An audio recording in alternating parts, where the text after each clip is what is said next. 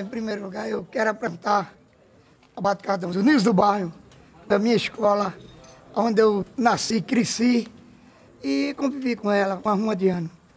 Aí os momentos da vida a gente se afasta, mas é como diz a história, aqui é como coração de mãe e eu tinha que voltar para essa casa. Aí voltei com meus amigos e, e estou aqui. A minha vida estava aqui assim, eu, eu comecei a tocar a música nordestina, com, comecei com, tocando e cantando música de, de forró, e depois eu, eu inspirei no colega meu. O colega meu tá com violão, quando eu ia para casa, eu pedia para levar para casa, ele, não, rapaz, me deu, não vou quebrar. Aí trazia o violão do cara para casa, com aquele medo todo, e botando os dedos nas cordas. No outro dia eu ia procurar uma pessoa.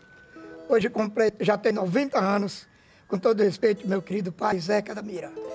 Pedia, que tom é esse? Ele dizia, um fulano de tal. Quem está lhe ensinando? Eu digo, Deus.